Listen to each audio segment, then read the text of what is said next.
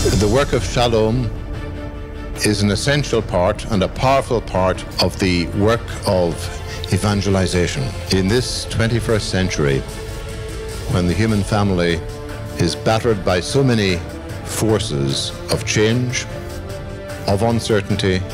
forces which seem to threaten and menace hope,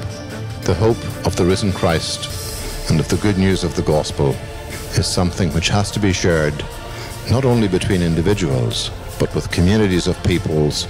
right around the nations of God's earth. May the Lord bestow his blessing on the work of Shalom, on all who are, who are associated with it, and also indeed on all those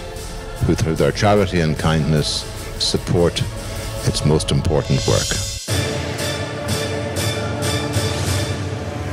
Shalom World, God's own channel